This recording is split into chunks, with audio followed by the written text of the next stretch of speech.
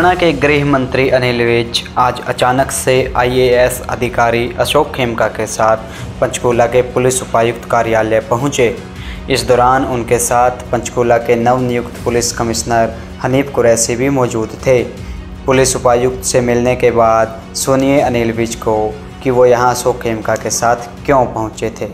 किसकी F I R मुझे इतना मालूम है केवल कि एक आई अफसर अपनी एफ़ आई आर दर्ज कराना चाहता है उसमें क्या कंटेंट है, मुझे मालूम नहीं लेकिन उसकी एफ़ आई आर दर्ज नहीं हो रही एफ़ आई आर इस प्रदेश में हर आदमी की दर्ज होनी चाहिए।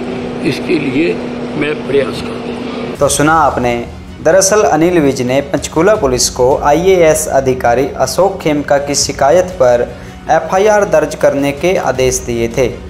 कहा, अगर एक आई ऑफिसर की शिकायत पर मामला दर्ज नहीं किया जा रहा है तो आम आदमी का क्या होता होगा? जिसके चलते आज गृह मंत्री अनिल विज और आईएएस अशोक खेमका पंचकूला के डीसीपी मोहित हांडा के कार्यालय पहुँचे थे।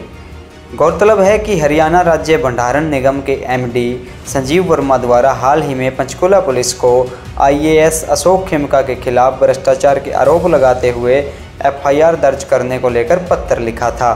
सूत्रों की माने तो आईएएस अशोक खेमका द्वारा भी एफआईआर दर्ज कराने के लिए पुलिस में शिकायत दी गई थी, जिस पर कार्रवाई नहीं हुई थी। पंचकुला से उमंग चौरान की रिपोर्ट।